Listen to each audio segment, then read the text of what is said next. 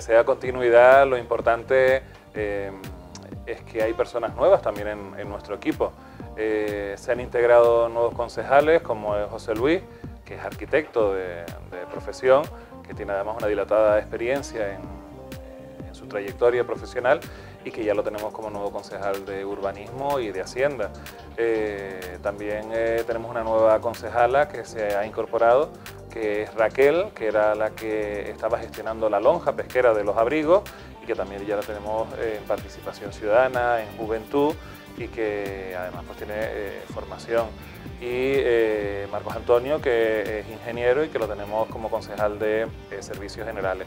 Esas son las nuevas incorporaciones que se unen al, al equipo anterior que un alcalde siempre está aprendiendo como una persona en la vida. Yo creo que aunque lleves dos años, lleves tres, eh, siempre aprendes y siempre ves más problemas de los que existen en el municipio, porque al final eh, esto, cuando no se rompe, hoy mismo hemos tenido un problema de una avería en, el médano, de una tubería de agua que se ha roto, ya se está trabajando en la misma, pues siempre te encuentras estas circunstancias, cuando no, eh, los edificios que se van deteriorando y después nuevos proyectos, que es por lo que me preguntaba. Lo importante es tener ilusión y ganas de trabajar y siempre con dos requisitos, para mí es la humildad y sobre todo la honestidad. Yo creo que más allá de eso, eh, uno puede ser mucho más inteligente, uno puede tener eh, mejores ideas, pero para trabajar en la administración pública y más como nos encontramos hoy en día con los casos de corrupción que se ven diariamente, eh, lo importante es, ser honesto. Uno podrá tardar más en sacar las cosas adelante porque además la administración es muy lenta. Yo creo que en eso tendríamos que reflexionar todo de las trabas burocráticas que hemos creado para los ciudadanos, desde el que se quiera hacer su propia casa, abrir su propio establecimiento al final muchos desesperan, pero es porque hemos creado, en este caso digo la clase política en general, ¿no? Desde, tanto a nivel de Estado como a nivel regional o incluso las propias ordenanzas municipales que dificultan que, sean eh, ágiles muchos de los trámites. Sin embargo, eh, vivimos en una época que mm, cada vez es mucho más digital, en la que nosotros, una de bueno, mire, eh, para el año que viene ya nosotros tenemos que estar, como cualquier otro ayuntamiento, ya hacer todo digital, es decir, no utilizar el papel, y ese es uno de los grandes proyectos que queremos que ya para mediados del año que viene estemos ya con esa época en la que no utilicemos papel, mm, yo creo que incluso con mayor conciencia medioambiental y para ser tal vez eh, mucho más ágiles. Sí, yo siempre lo digo, ya las elecciones acabaron, ahora lo importante es trabajar, ya llegarán dentro de cuatro años nuevamente las elecciones y los vecinos tendrán que decidir. Eh, en primer lugar, yo lo que quiero es agradecer el apoyo que nos han dado, en este caso, pues a mi grupo político, a Coalición Canaria y Granadilla, que, mm, eh, bueno, pues eh, haber subido eh, más de 700 votos con respecto a las anteriores pasadas, eh, elecciones pasadas, han hecho que subamos también un concejal.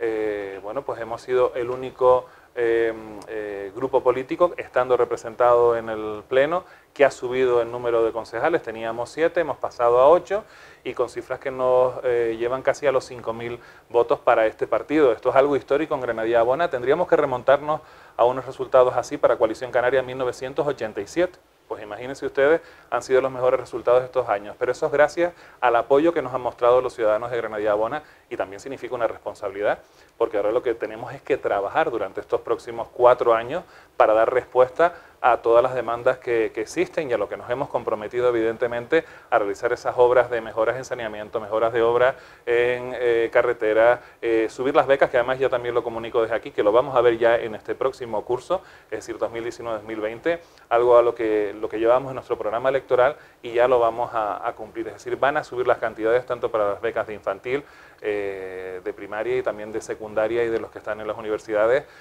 yo creo que eso es algo muy importante porque a pesar de las dificultades económicas que puedan tener las familias, tenemos que invertir en educación y eso ya lo van a tener todos los granadilleros y granadilleras. Sí, la primera vez que me he presentado de alcalde en el año 2015, em, Coalición Canaria tenía seis concejales y subimos a siete.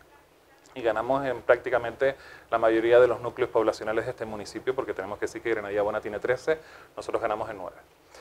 Eh, estamos en la oposición, ya veníamos desde el 2011 eh, al 2015 en la oposición, seguimos dos años más en la oposición. En la oposición con siete concejales. Con siete concejales. Y eh, a los dos años se crea o se apuesta por ese cambio de gobierno en Granadilla Abona, en el que necesitamos el apoyo del Partido Popular y de Ciudadanos, y eh, ya hemos crecido en esos de 6 a 7 concejales y ahora lo que hemos hecho es subir de 7 a 8. Es verdad que lo hemos hecho, eh, bueno, pues sí, nos imaginamos cómo estábamos antes, que el Partido Socialista tenía 10 y Coalición Canaria 7, ahora tiene Coalición Canaria 8 y el Partido Socialista 8, a pesar de eh, bueno, pues ese apoyo que se ha visto en prácticamente la mayoría de municipios y a nivel nacional esa oleada que evidentemente para un partido nacionalista como el nuestro, para un partido que solo está en el ámbito de Canarias, es muy difícil contrarrestar porque desde luego no tenemos eh, las mismas cantidades económicas ni los mismos medios para poder eh, desarrollar y explicar nuestro programa. Pero bueno, si nos ponemos en clave local, que es lo más importante, ya tenemos que trabajar, hay que olvidarnos de las elecciones, esas ya pasaron, ya los ciudadanos votaron y aquí se ha creado un nuevo gobierno, que lo que queremos es que haya tranquilidad y continuidad para poder avanzar. Y en ese caso, mm, nosotros no somos de estar todos los días en los medios de comunicación. Yo agradezco a Canal 10 que, siempre que nos visita, que, podamos explicar. Además, han visto muchas de las obras que, hemos tenido. Eh, y eso que agradecérselo también a ustedes y que seguiremos visitando porque hay algunas de ellas van a concluir dentro de muy pocos meses. Eh, porque eso, mm, quizás a lo mejor una persona que vive a la costa no conoce lo que se está haciendo en las medianías, una persona en las medianías a lo mejor no ha visto la carretera que se había hecho en otro de los núcleos. Bueno, yo creo que eso es importante incluso para aquellos que no viven en Granadilla Bona, que sepan las mejoras que se están realizando y cuáles son los próximos proyectos. Eh, como decíamos, bueno, agradecer el, el, resultado que hemos obtenido, desde luego era impensable, y más viendo lo que ha sucedido a nivel... ¿Usted no era optimista? bueno, yo sí era optimista. Pero la mayoría es complicada porque estamos hablando de 11, ¿no? 11 concejales. Era complicado. Eh, prácticamente las mayorías van desapareciendo en, en municipios, eh, además como este tan multicultural, ¿no? Y, tan grande. y, con tantas ideologías y en lo que no tiene nada que ver, eh, a lo mejor Charco del Pino con el Médano o los abrigos con el propio eh, núcleo costero del Médano. Claro, eh, Arturo ha sido en varias ocasiones alcalde, y yo aquí también lo felicito por los resultados obtenidos, es decir, ya ha tenido también una larga trayectoria, eh, incluso, bueno, pues estuvo también con alguna dificultad médica, después regresó, tiene, bueno, conoce perfectamente el municipio. Yo creo que los sanmigueleros lo que han hecho es premiar el trabajo que se ha realizado y darle la oportunidad de decir, ahora trabaja con una mayoría absoluta para que pueda sacar esos proyectos tan importantes para San Miguel que lo necesitan. Porque todos sabemos que no es lo mismo tener una mayoría holgada para poder llevar los asuntos a pleno, eh, para poder tú desarrollar el trabajo, para eh, bueno, darle respuesta a esa ciudadanía que cuando llega a los pactos, evidentemente, eh, se divide las competencias, unas están para unos partidos, otras para otros, aunque nosotros aquí trabajamos de forma conjunta y con reuniones cada lunes de grupo de gobierno, pero vemos lo que sucede en otros municipios. De todas maneras, hay algunos que con mayorías absolutas han tenido más problemas que con eh, pactos. Yo en este caso lo he visto, ¿no? en otros municipios y, bueno, y en otros lugares que ha sucedido. Aún así ese problema no lo hemos tenido en Granadilla yo creo que eso es algo bueno, que hemos podido trabajar conjuntamente y no conseguir las políticas, sino pensando en, en, solucionar problemas. Bueno, Ciudadanos siempre decía que estaba en la oposición, nunca, ni cuando estuvo con el Partido Socialista, eh, porque sabemos que cuando se vota en el, que por cierto eso también hay que decirlo, eh, cuando en el 2015 en la sesión de constitución de, de todos los ayuntamientos, eh, quien sacó más votos para ser alcalde fui yo, no fue Jaime González Ceja. Es decir, él obtuvo nueve eh, apoyos y yo diez. Lo que pasa que por el número de votantes, él se quedó de alcalde. Eh, eh, Ciudadanos se abstuvo y también se abstuvo, en este caso, eh, Izquierda Unida. Y por eso él pudo ser alcalde. Nosotros siempre dijimos que no íbamos a mostrar el apoyo hasta que no se resolviera el proceso judicial que tenía arriba el Partido Socialista Granada. ¿Y eso cuánto lleva, alcalde? Bueno, pues ya lleva más de 10 años. Bueno, yo no voy a entrar tampoco en eso porque, mm, como ven, lo que me toca es trabajar por Granadilla. Yo no soy juez, eh, no tengo que tampoco estar persiguiendo, eh, o en este caso buscando si es culpable o no es culpable. Yo lo que sí quiero... ¿Pero cuántos años lleva eso? Eh, le estoy diciendo que, eh, pues, por lo menos una década como mínimo, ¿no? En el sentido de que lo que no puede ser es que los granadilleros no conozcan lo que ha sucedido. Yo creo que eso sí es importante, ¿no? Saber esos delitos o presuntos delitos. ¿Y la gente de Granadilla no lo sabe? Eh, evidentemente no, porque no ha habido una resolución judicial, ¿no? De prevaricación, tráfico de influencias, malversación de caudales públicos, eh, bueno, delitos contra el territorio, contra el urbanismo, eh, que no se correspondía. Bueno, una serie de circunstancias que tienen ahí que desde luego yo creo que es bueno que se conozcan. Nosotros lo que decidimos fue estar en la oposición, es decir, no íbamos a gobernar porque creíamos que no era oportuno con una, porque no creíamos que lo habían hecho bien, es decir, la gestión que habían realizado en los últimos años para Granadilla Abona, veíamos cómo otros municipios prosperaban, tenían eh, piscinas municipales, tenían casas de la juventud, tenían residencias de mayores, tenían auditorio, y sin embargo Granadilla Abona en ese sentido no se apostó, y esa es una realidad. Las carreteras ni siquiera se habían mejorado, ya hemos visto como muchas de las carreteras se están mejorando, que no son todas evidentemente, porque lo que uno no puede hacer es eh, transformar de la noche a la mañana eh, cuando no se ha trabajado eh, en cada uno de los núcleos, ¿no? y eso es difícil y va a costar para poderlo realizar, pero sin embargo hemos visto cómo hemos querido dar respuesta a muchas de las demandas. Pongo un ejemplo. Cuando llegamos la carretera de los abrigos llevaba casi un año eh, paralizada. La carretera principal, es decir, la travesía, eh, se encontraban con las tapas de alcantarilla donde rozaban los vehículos, los motores, las defensas, bueno, pues se consiguió en tres meses ya comenzar la obra. Y eso es algo importante que conseguimos. No existía un, una bomba de impulsión en la Cruz de Tea para que en la calle El Faro, la zona de arriba, que les pudiera llegar el agua con normalidad. Se colocó eh, pues a casas, eh, yo creo que casi en las dos primeras semanas de nada más llegar se colocó esa bomba. Ahora lo que necesitamos es cambiar la, red, es decir, ampliarla, que es algo que tiene que hacer el Cabildo Insular de Tenerife, que todavía no ha cometido, no solo para el núcleo de la Cruz de Tea, sino también para el, para el desierto.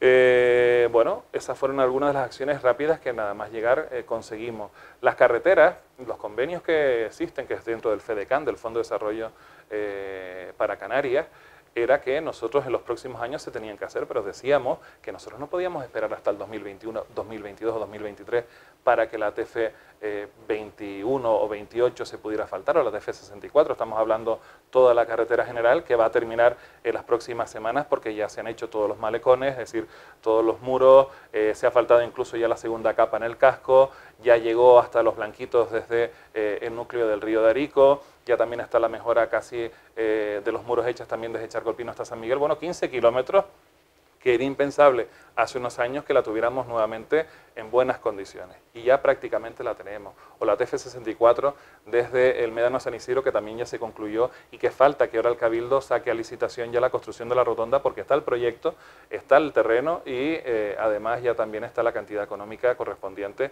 consignada a los presupuestos para poderlo hacer. La otra que se arregló fue desde aquí hasta, eh, bueno, para arriba de la Cruz de Tea hasta Vilaflor, que era la eh, TF28. Yo creo que también es importante, ¿no? Hablamos de TF28 y TF21. Eh, bueno, y esas son algunas de las acciones que se han hecho con el Cabildo, pero propias también, Chimiche, que esa la visitamos, la carretera de la iglesia, eh, la de Vicácaro, que además hace falta ya la, semana que viene, que se ha hecho todo lo de la red de riego para evitar que tuviéramos muchas tuberías por los alrededores, bueno, pues se ha conseguido también. Y muchas otras acciones que hemos ido desarrollando a lo largo de estos dos años. Bueno, eh, Granadilla buena, pero porque teníamos esa necesidad, hay que decirlo, y quizás hay, haya que invertir otros 20 millones de euros más. Nosotros hemos sido durante estos últimos años eh, el municipio más beneficiado de em, obras del Cabildo en carreteras. ¿Pero por qué? Porque llevaba 40 años sin tocarse la carretera general, porque otras llevaban 35 años.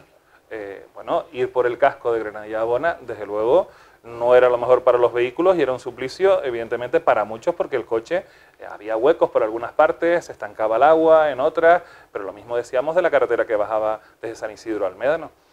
¿Qué es lo que esperamos del Cabildo? Que siga invirtiendo en Granadilla Bona, que continúe ya la 555, que es la carretera que va desde, eh, desde Chimiche hasta Las Vegas, está adjudicada, no ha comenzado la obra y esa tendrá que, comenzar.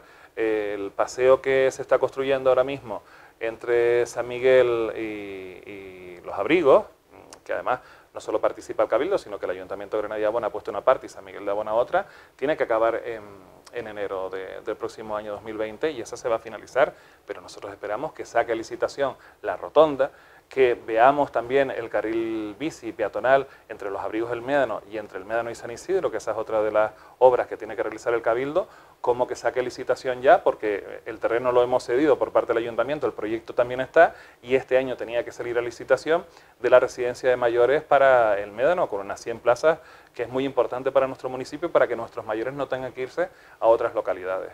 Bueno, San Isidro está en torno a los 28.000 habitantes. Casi 30.000. Pero es que Granadilla Abona, empadronados, ya está llegando eh, casi a los 60.000 habitantes.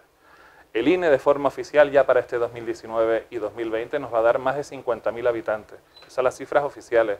Quiere decir que Granadilla Bona es el cuarto municipio en población en la isla de, Tenerife. Ya hemos superado a Deje eh, con creces y va a seguir creciendo los próximos años. Yo creo que eh, eso también habla de, bueno, de los beneficios que tiene vivir aquí, es decir, eh, bueno, está muy bien comunicado en el sentido de que bueno, se encuentra en la zona sur, pero puedes ir a la zona turística o a la zona metropolitana en muy poco espacio de tiempo. Tenemos un polígono industrial que se tiene que desarrollar, tenemos el aeropuerto, eh, bueno, localidades costeras como el Médano, que es un lujo también eh, vivir allí y poder disfrutar bueno, de la época estival o también de invierno. Hemos tenido ahora mismo el programa San Sofé durante julio y agosto con muchas actividades, la muestra folclórica a los pueblos, el Festival de Nuevos Talentos, la banda incluso de, de Granadilla todo eso totalmente gratuito. Además, digo la banda, que es la Sociedad Cultural eh, José Reyes Martín, que hizo eh, un concierto dedicado a Venezuela, que estuvo muy bien, participó el Morocho, eh, el sobrino de, El Puma, que también estuvo, y bueno, hizo las delicias de todos los asistentes. Y eso lo hemos tenido también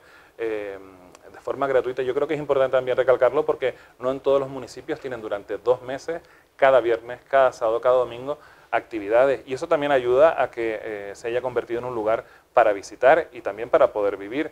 Las medianías, bueno, pues hemos visto gracias a estas obras en carreteras que estarán mucho mejor comunicadas, que ya a lo mejor no dirás, tengo que bajar o tengo que subir hasta Granadilla por esa carretera, pues no, ya está eh, mucho mejor, o incluso cuando veamos la de Las Vegas, que es uno de los núcleos más pequeñitos que tenemos en el municipio, pero que, bueno, mm, eh, no creo que haya campanarios que crezcan todos los años como, como el de Las Vegas, porque saben que está ubicado en un pino y que tan solo cuando uno se pone en esa plaza, eh, que además allí celebramos a la patrona de la policía, merece la pena estar allí porque, bueno, puede ver toda la costa desde ese punto, estamos casi en el, en el Pinar y, es uno de los lugares donde nació nuestro municipio. Sí, este año vamos a conmemorar el 500 aniversario del paso de, Fernando Magallanes, Juan Sebastián Elcano, por nuestro municipio, que además aparece en nuestro escudo municipal.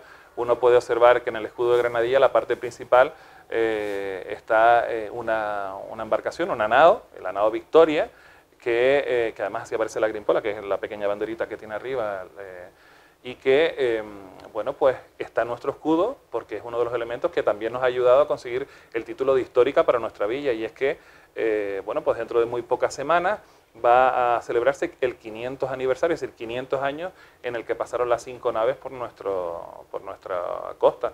No se sabe exactamente si fue la zona de la Tejita o la zona de la Bahía del Medano, pero bueno, evidentemente fue allí. Dicen que desembarcaron en el Monte Roxo, es decir, en la Montaña Roja, y nosotros ya tenemos eh, varias que desde aquí también las puedo eh, decir, serán los primeros que, que vamos a comunicarlo. Eh, yo creo que es bueno. Eh, no estamos desarrollándolo como gesta, es decir, evidentemente es importante. Es como si ahora fuéramos o tuviéramos la capacidad del ser humano de ir a Marte y volver sin ningún tipo de incidencia. Es verdad que ellos la tuvieron y, desde luego pues pasaron varias vicisitudes. De hecho, no nos podemos olvidar que ni siquiera regresó eh, Fernando Magallanes, sino que fue, eh, falleció durante el transcurso en Filipinas. ¿no? Y, y, en este caso, bueno, pues nosotros lo que vamos a... Hacer, yo creo que es importante porque muchos quizás desconocen que eh, cuando ellos desembarcaron, estuvieron tres días ¿no? en, la costa de Granadilla de Abona, para tomar agua, para tomar eh, víveres, eh, para hacerle mejoras al barco, pero cinco personas de este sur de Tenerife se embarcaron allí, es decir, que tenemos gente de, nuestro municipio en aquel entonces, que evidentemente no existía Granadilla de Abona como municipio, pero sí que es verdad que estamos hablando de que hay personas que se subieron allí y que incluso la completaron en algunos casos. Vamos a poner una placa conmemorativa con los nombres de esas cinco personas que eh, eh, estuvieron en la, expedición de, Fernando de Magallanes.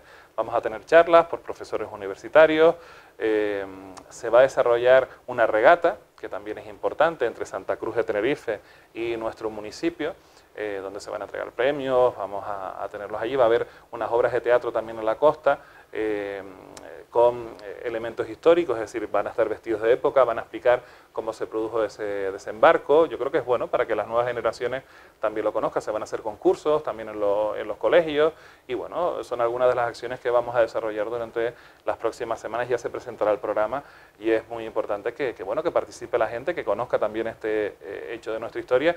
La primera vez que se dio la vuelta al mundo, que se dice fácil, pero hace 500 años dar la vuelta al mundo en, sus barcos, pues recuerden ustedes, a más de 200 personas, pues prácticamente regresó una parte muy pequeña y que, bueno, como decía yo, hoy en día sería como ir a otro planeta y regresar. No, pues para la gente de, Granadilla que sepan que vamos a seguir trabajando, que es lo que toca, que no todo es tan fácil ni tan sencillo.